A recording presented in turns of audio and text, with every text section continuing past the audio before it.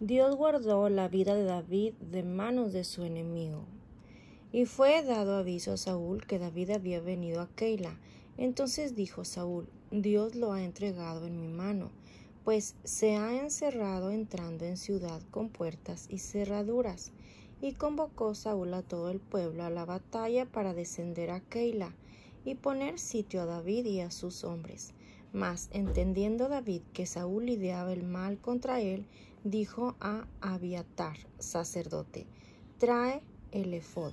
Y dijo David, Jehová Dios de Israel, tu siervo tiene entendido que Saúl trata de venir contra Keila a destruir la ciudad por causa mía. ¿Me entregarán los vecinos de Keila en sus manos? ¿Descenderá Saúl como ha oído tu siervo? Jehová Dios de Israel, te ruego que lo declares a tu siervo.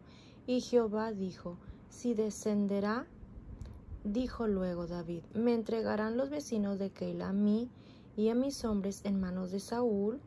Y Jehová respondió, os entregarán.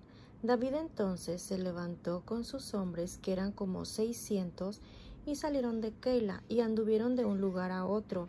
Y vino a Saúl la nueva de que David se había escapado de Keila y desistió de salir.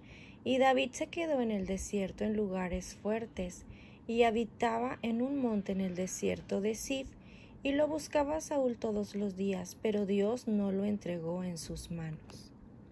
Amén.